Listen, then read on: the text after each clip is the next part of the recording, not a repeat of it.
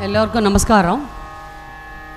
இந்த சீதா கல்யாண வைபவத்தில் இந்த வருஷம் எனக்கு வாசிக்கத்தில் ஒரு பெரிய மட்டற்ற மகிழ்ச்சி. இப்பொழுது இந்த வீணை இசைய சோபில்லு சப்தஸ்வர அப்படிங்கிற பாட்டு ஜெகன்மோகினி ராகம் ரூபகதாளம் தியாகராஜ சுவாமி கீர்த்தனையோட ஆரம்பிக்கிறேன்.